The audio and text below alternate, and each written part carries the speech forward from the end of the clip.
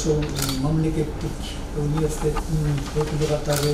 ошол жерде баягы диний билимдерин окутуп аткан бөлүмдүн өкүлү катары айтып кетишим керек ошол мамлекеттик окуу жайларда дагы ар кайсы адистиктерди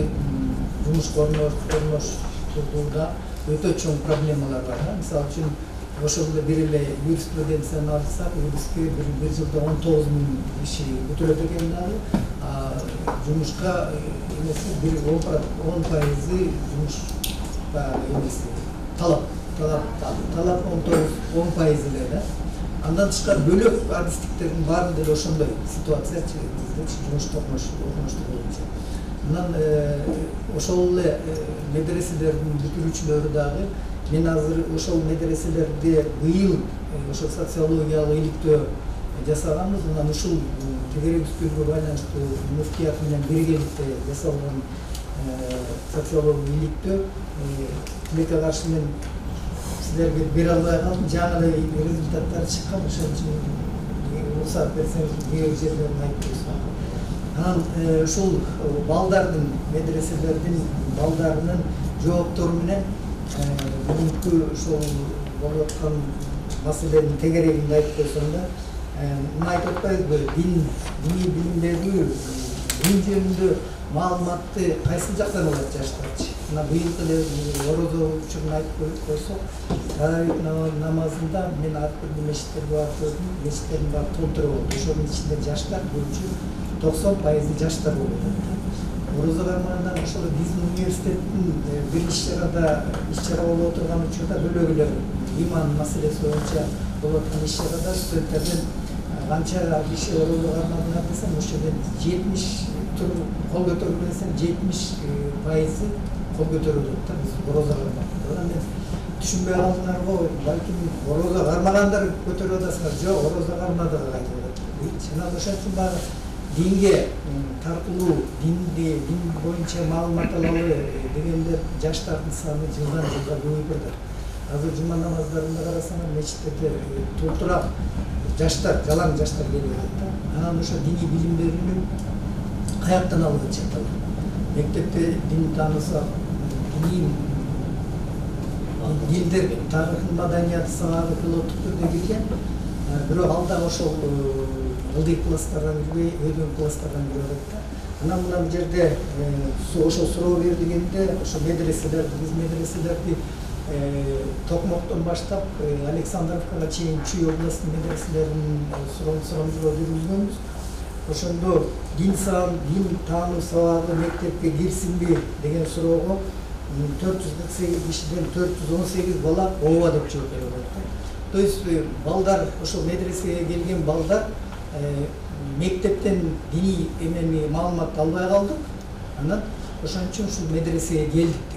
да медресени бүткөндөн кийин кайсыл улантасызбы окууну улантасызбы дегенде үч жүз отуз экиси диний билим алууну улантам деп атат алар мен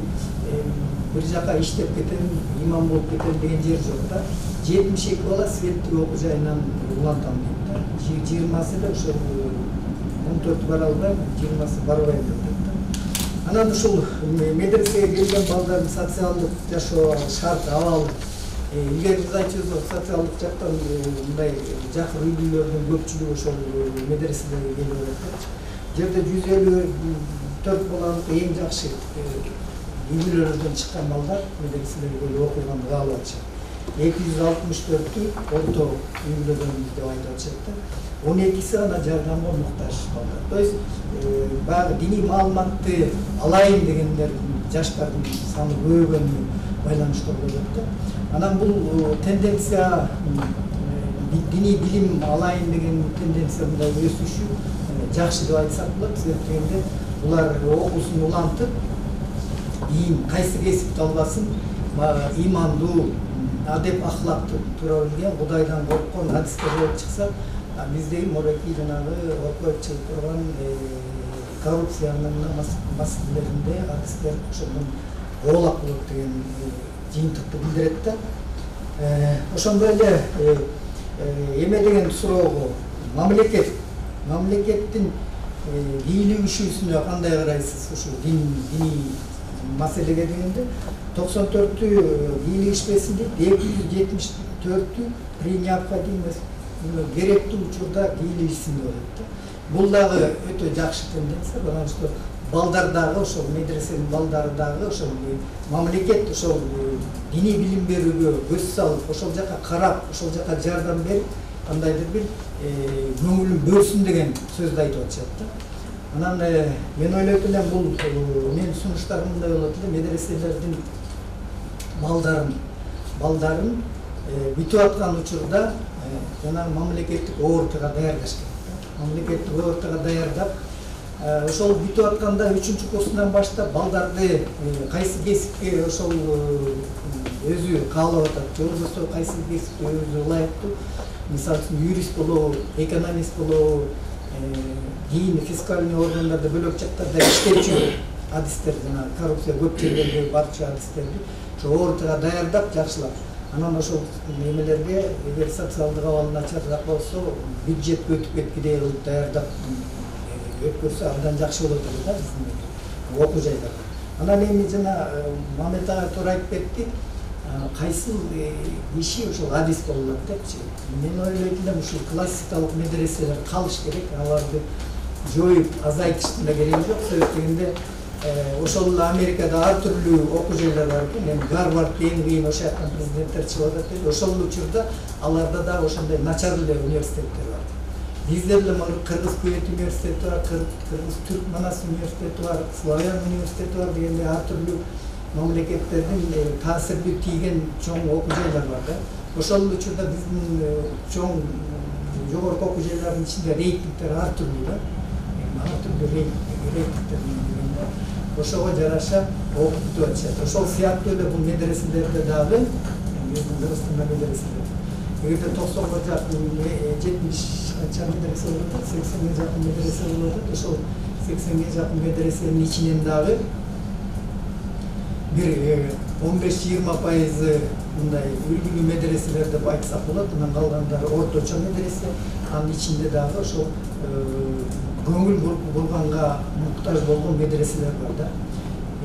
жерде баягы эң чоң мааниге сапат сапатты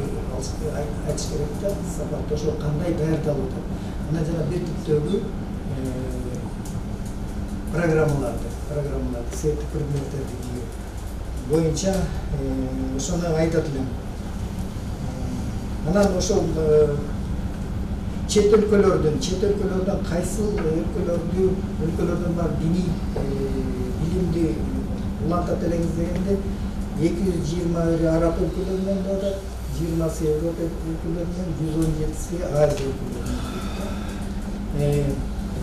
кайсы мазхабты карманасыңар дегенде дээрлик баардыгы төрт жүз кырк киши ханафи мазхабын билет эми улуттарын алганда ошол жана азыр айттык жалгыз жана гана кыргыздар эмес бул жерде үч жүз он сегизди кыргыз отуз төртү өзбек экиси тажик дунган сексен эки орусу үч болуп атат да анан эми ушул бул изилдөө эме социологиялык иликтөө жакында эле жүргүзүлгөн бул медреселерде азыркы эмеге байланыштуу тегерек үстелге байланыштуу жерлерин гана мен